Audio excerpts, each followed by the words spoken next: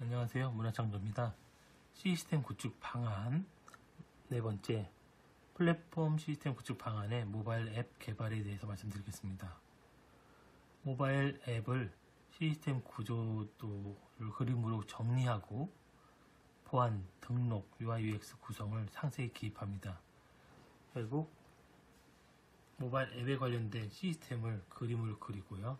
거기에 관련돼서 뭐 보안이 어떻고 등록이 어떻고 UI UX 구성에 대해서 상세하게 기입을 함으로써 어, 한눈에 바라 어, 이해할 수 있게끔 모바일 앱 개발에 대한 내용을 기술을 하면 되겠습니다. 거기에 더불어 뭐 나오는 뭐 메인 시안이든 서브 시안이든 이렇게 보여주면 더 효과적이겠죠.